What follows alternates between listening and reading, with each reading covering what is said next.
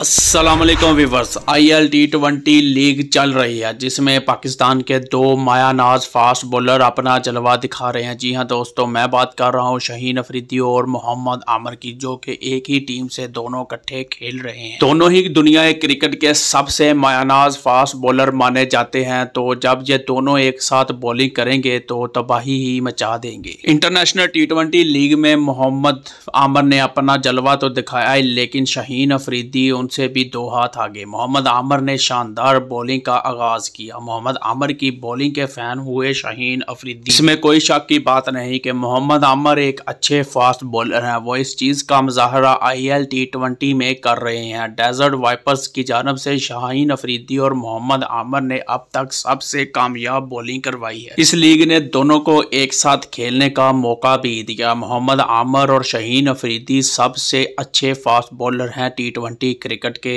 इस क्रिकेट दुनिया में तो दोनों ही एक ही टीम से खेल रहे हैं। दोनों की विकेट्स की बात करें तो दोनों ने मिलकर छह खिलाड़ियों को आउट कर चुके हैं। दोनों ही कामयाब बॉलर करार पाए हैं। मोहम्मद आमिर, हो सकता है कि शहीन अफरीदी उनको टी ट्वेंटी में पाकिस्तान की टीम में वापस ले आए। क्या मोहम्मद आमिर को पाकिस्तान की टीम में वापस आना चाहिए या नहीं? कॉमेंट्स आदमी की